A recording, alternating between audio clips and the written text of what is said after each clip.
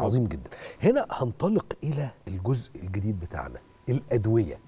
إيه هي الأدوية دي؟ بتعمل إيه؟ يعني دي تحول دون المرض ولا لما يجي لي بيعالجني؟ إيه اللي بيحصل؟ طيب إحنا عندنا كذا نوع من أنواع أو كذا تقسيمة من تقسيمات الأدوية التي أجازتها الهيئات الدوائية العالمية وهيئة الدواء المصرية وهي الهيئة المنوطة عن منظومة الدواء في مصر. مم.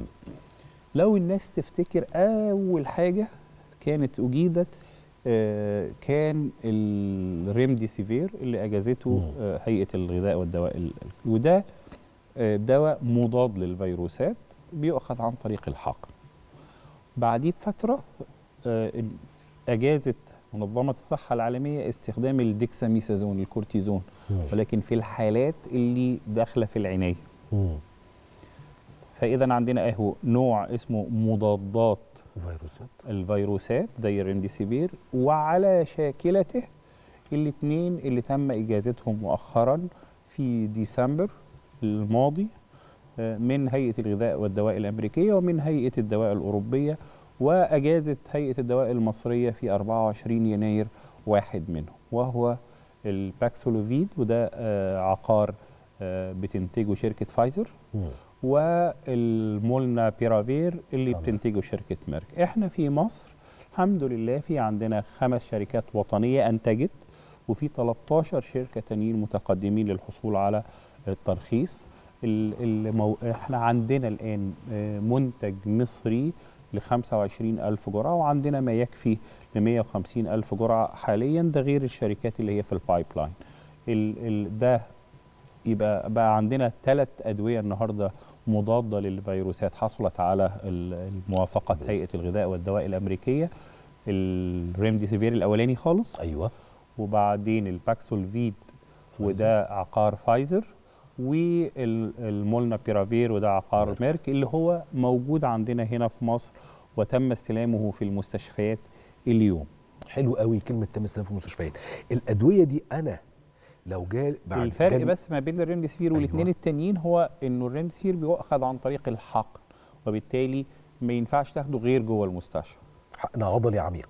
بالظبط. بس يفضل لأنه في ناس كتير بتروح عند الصيدلية يقول له ادي لي الحقنة زي كده مجموعة آه بس هو ده ده الحمد يعني ما مش موجود في ال في ال ده مش موجود في الصيدليات فالدواء موجود في الاثنين التانيين بقى.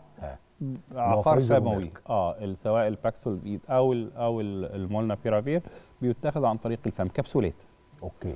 ماشي. ودول برضو جوه المستشفى ولا في الصيدلية؟ إحنا النهارده بنتكلم على جوه المستشفى لأنه حاصل على آه، آه، رخصة الاستخدام الطارئ. فمحتاجين إنه يؤخذ تحت إشراف طبي كامل. كويس جدا. وبما إنه إحنا آه، يعني عندنا مسألة الحصول على الدواء بروشته مش من ال- الثقافة الشائعة عندنا. وإنه الناس ممكن تاخد الأدوية بدون وصفة طبية. فإحنا في المرحلة الحالية هيبقى من خلال آه، المستشفيات وصيدليات المستشفيات سواء كانت التابعة أو لوزاره الصحه. أو أو الجامعيه عشان يبقى تحت إشراف طبي لأن إحنا ما زلنا في رخصة الاستخدام الطارئ. ده مضاد للفيروسات. مضاد للفيروسات يعني بيمنع إذا من تكاثر الفيروس داخل الجسم ويثبط من عمله. وبالتالي هم بيتاخدوا في المراحل الأولى من الإصابة. إحنا بنتكلم في أول من خمس لسبعة أيام مم. للبالغين فوق سن 18 سنة. آه ولأصحاب الإصابات البسيطة والمتوسطة التي يخشى أن تتحول إلى شديدة بسبب بقى ضعف في الجهاز المناعي بسبب آه، آه، الأمراض ال- ال- المزمنة بسبب المراحل السنية المتقدمة. دولت النوع الثاني اللي هو مضاد للفيروسات. في عندنا نوع ثالث تمت إجازته آه، وهو ال monoclonal antibody أو المستضدات الأحادية. دي بتعمل إيه؟ دي بتحسن من قدرة الجهاز المناعي على التعامل مع الفيروس.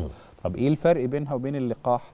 إنه اللقاح هو بيحسن الجهاز المناعي من غير ما تكون انت مصاب ما عندكش فيروس. مم. إنما هو آه، زي إيه زي خلينا نقول إنه دي زي اللقاح زي التدريبات اللي بيعملها الجيوش قبل ما يخشوا الحرب. حلو. فأنت بت بتدرب جهازك المناعي عشان لو دخلت الحرب مع الفيروس تبقى. مستعد. آه. إنما ال monoclonal antibodies هي بتتاخد للناس اللي مصابة فعليا. يعني هي دخلت الحرب. لكن بتديها إمداد فبرفع كفاءه آه الجهاز كأنك المناعي. بتديله مزيد من الإمدادات لجهازه المناعي من خلال ال- المستضدات ديت. ال- اللي وصل الحمد لله آه، آه، وصل عندنا امبارح آه، مساء آه، أحد هذه ال- الأدوية التي برضو يؤخذ عن طريق الحقن وهو الإيفو شيلد ومن إنتاج شركة آه، أسترازينيكا ووصلنا آه، ما يكفي ل ألف مريض. عظيم جدا. و- ودخل مصر الحمد لله. فإحنا النهارده من الأدوية اللي تمت الموافقة عليها خلال الشهر اللي فات مصر فيها نوعين والثالث في الطريق. في الطريق.